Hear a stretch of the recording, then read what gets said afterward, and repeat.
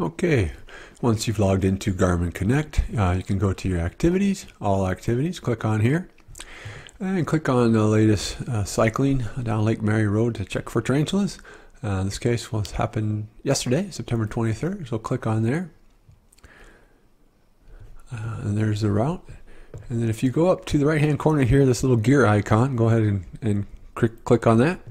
And we'll, this time we'll you can export as a, to GPX or to Google Earth and, or even TCX. But Google Earth seems to work pretty well and it's easy to do, so we'll do that.